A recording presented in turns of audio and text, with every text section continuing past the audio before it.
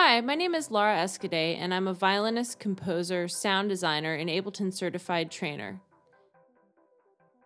Here I'm going to guide you through the art and history of sampling before I move on to discuss Ableton's Simpler instrument, which is a very basic sampler that is very, very powerful and can be very useful in your musical creations. So you might be wondering what the difference is between a synthesizer and a sampler. Well, a sampler is an electronic musical instrument that is very similar in some respects to a synthesizer, but instead of generating its own sounds, it uses recordings or samples of sounds that are loaded or recorded into it by a user or a composer or sound designer or anyone who likes to make music. So, normally with a sampler instead of a synthesizer, the sounds are recorded using a microphone and then it's controlled by an attached music keyboard or other external MIDI source.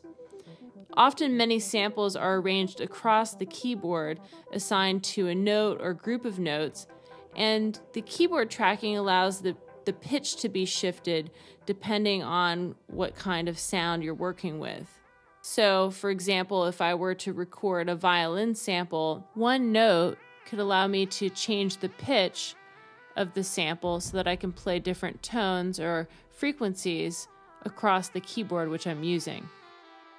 So here we have some pictures of the first samplers. The first digital sampler was the EMS system, and the first polyphonic digital sampling synthesizer was the Fairlight computer music instrument.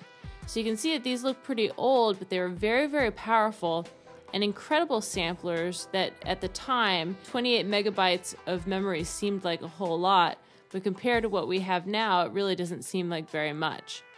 There's also some percussion based samplers like the SP 1200 or the Akai MPC series. These types of instruments really helped the hip hop scene progress because the ability to record your own sounds into the instruments and then mangle and twist and change the recorded sounds as much as possible to create some really interesting beats and textures and different things that weren't allowed before with the older synthesizers. During the 1980s, there were a lot of synthesizers that began mixing synthesis with samplers such as the Korg M1 or the Korg Triton.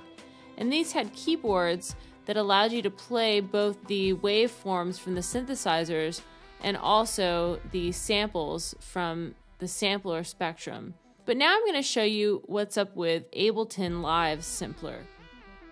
Ableton Live Simpler is a very basic sampler instrument that comes in every version of the program. I'm going to show you how to navigate your way around Simpler and create some really interesting and effective sounds for making music.